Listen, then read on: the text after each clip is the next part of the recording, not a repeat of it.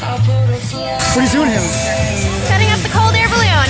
The cold air balloon. The cold air balloon. Wow, how does that work? Um, we have our fan right there blowing in through the bottom, and it should be about as tall as a telephone pole when we're done.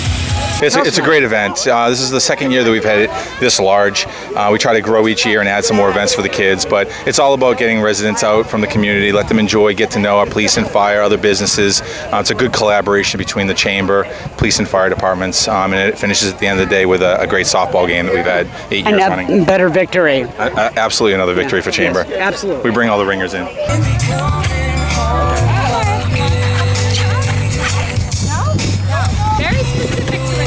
He's making the burgers, so. I am burgers and hot dogs. Okay, tell us about. Um, have you done this before? Personally, no. I think no. Laurie and I did come up here last year. Yes, we did. Yeah, So that you've been involved the entire history of the event. you're right. I Both have. years. Yeah, both years. Yeah, right. Yes, yes. And um, uh, Jason also is uh, the owner of AB Tent Rental, and um, so if you need a tent, he's your man. That's right.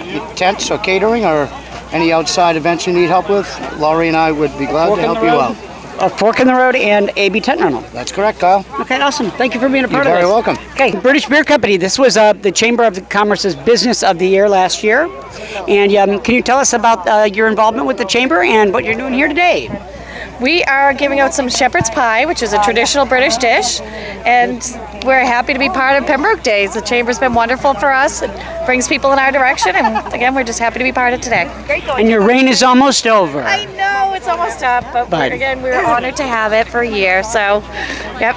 Okay, well, thank you for being a part of the event. Okay. Uh, so this is Arrow. They're a new restaurant in town with an awesome deck, um, and they're on Center Street. And uh, tell us about your involvement with the Chamber and uh, with uh, Pembroke Day. Uh, so I've been there since we opened. I'm a waitress there, and uh, it's our new bartender. um, it's a great restaurant. It's really fun to work at. We have a good time. Good food. Now, what you do is they uh, you take a picture of the child, and um, they take all their information, their height, their weight, and then we fingerprint them. Uh, they give them a sheet with the printout on it for the parents, and we make a, um, an ID card for the children to have. That's great. That's great. And it stays with the parents in case there's any, by any chance that their child would go missing or anything. So it works out well for them. There's Chief Mike Hill, and there he goes. Um, It looks like we have quite a few um, businesses here, which I like to see. And uh, we have our canine demonstration going on, so I think it's going to be a good day. Because the dog always loved me. Okay. Oh. Oh. Mace, look at that. He has a case on, so he has like it's like a case, so he won't get hurt. So uh, we're here with Long Pond Physical Therapy. Good afternoon. Cheryl, you want to tell us who you are? Uh, I'm Cheryl. I'm the office manager at Long Pond Physical Therapy. We're located on 139 uh, Brick Hill Building. Been there for about five years. Yeah, and they do awesome, awesome stuff, and they have wonderful and attentive um, therapists, I guess you would call them. Yeah, yeah. Okay. Yeah, and um, they've been they're really great members of the chamber too. So. Excellent. Yeah. So is this your first year at Pembroke This Day? is my first year at Pembroke Day. It's nice, huh? You got a good is. spot. We did. Little Yeah. umbrella, little shade, lots of great people, and good Yeah. event, good turnout. What more could you ask for? All right. So if you if you should feel the need for some physical therapy, these are the people to talk to. Okay. So uh, there we go, Long Pond. All right, excellent. This is Karen Shea Price of uh, South Paws Doggy Daycare, and you want to tell us a little bit about Southpaws is located at uh, 275 Oak Street. We just built a new facility two years ago. I've been in business since 2006. Um, currently, I have nine employees, and we take care of about 75 to 100 dogs a day. Um, our facility is unique in that we require two visits a week from all of our clients.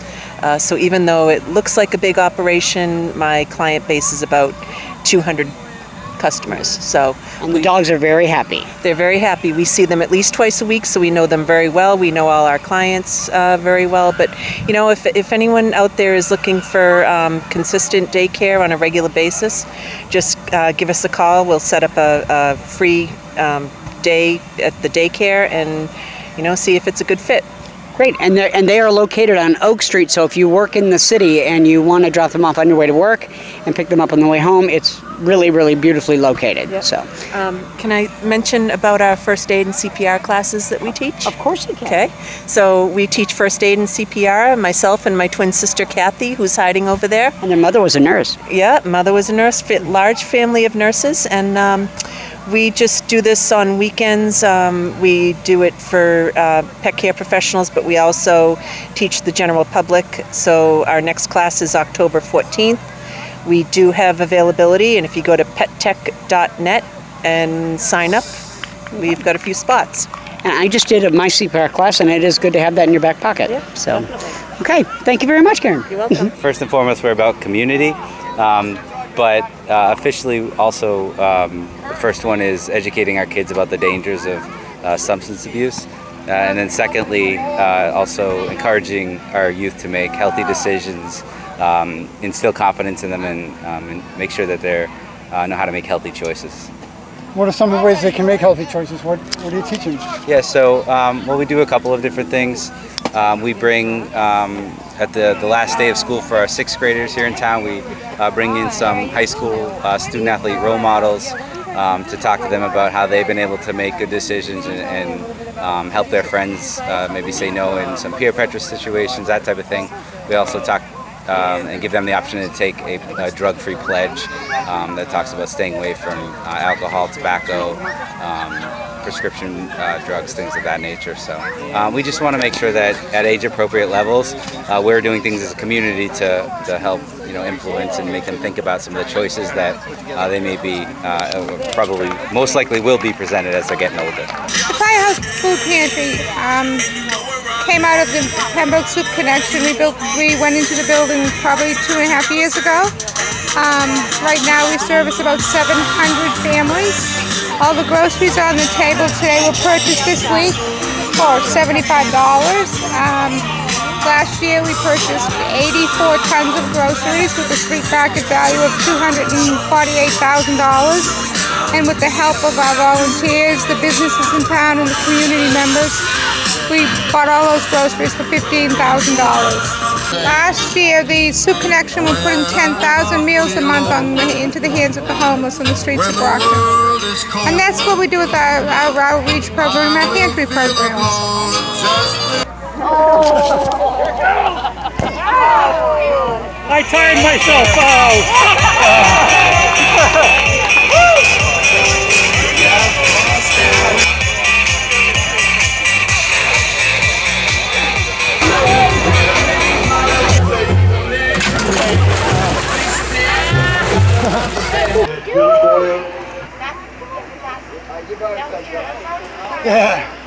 We have the 17 radios here. The radios can speak to anyone in the state. Um, we can also tie in any radios. There's six cameras around the mobile command. It's a 50 foot mast. We have four antennas on the mast, so for better reception. And there's two cameras. You can see on the large screen TV there. That's one of the cameras. Joe, zoom that out.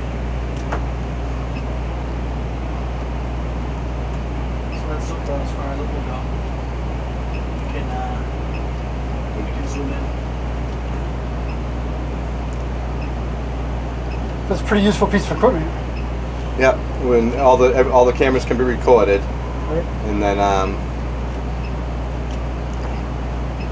so we can use this back room as a conference room, and we use the front room for dispatch. There's three dispatch stations, so you can have police, fire, and EMS, or police, fire, and sheriff's department, whoever, whatever you're working with. MP company and to do a touch a truck. And so we invite all the, tru- all the children and all the public to come and look at the truck and ask us um, a few questions. What kind of things they ask you about that? Uh, just has this truck been in combat before and what kind of guns go on the turret and just some operations of the, of the truck.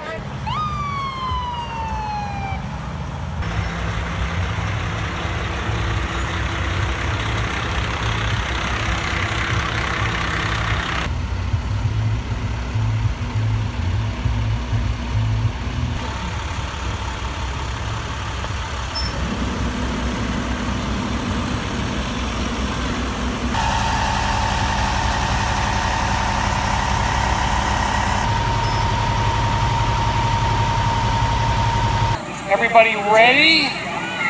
Set, go! Go, hop! Hopping down, hopping down, look at him go, look at him go! Coming in, here's our first place. There's first place,